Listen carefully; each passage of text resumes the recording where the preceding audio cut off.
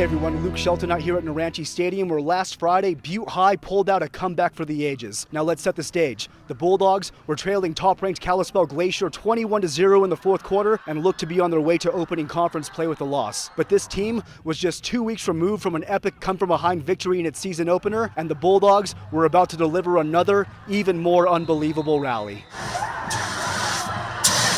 Through three quarters on Friday, Glacier kept Butte out of the end zone and off the scoreboard as the Wolfpack built a three score lead. But in the fourth quarter, as I was back in the office and trying to get this game in for our 10 o'clock show, something remarkable began unfolding at Naranche. You know, we were down, but we were never out. We just kept that trust in each other and believed that we'd come back. We knew we were never out. It's just the fact that we never give up as a team is the most important part. Never out. The Bulldogs personified those two words as they began mounting a comeback that'll go down in Mining City sports lore. It began with a 23-yard touchdown pass from Bo Damaris to Russo Batterman early in the fourth quarter to make it 21-7. Go Dogs, go Dogs. Then on Glacier's next play, junior Tory Temple housed a pick six and it was suddenly a one score game. Kind of in disbelief that I had the ball in my hand. I just started running and I had my two teammates leading the way for me, lead blocking me, and walked right in the end zone. Damaris and Batterman then connected for two more long scores, and the Bulldogs would go on to open Western AA play with a victory that was even more wild than the comeback the Bulldogs pulled out on the road against Billings West in week one. You know, super proud of the kids, super proud of how they competed and the coaches and just kind of hung in there and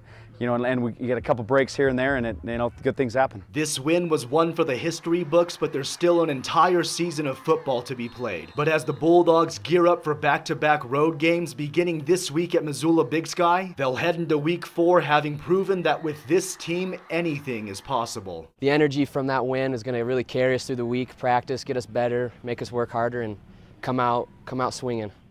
The Bulldogs take on Missoula Big Sky this Friday, travel to Kalispell Flathead the following Friday, and then return home to face Missoula Sentinel. In Butte, Luke Shelton, MTN Sports.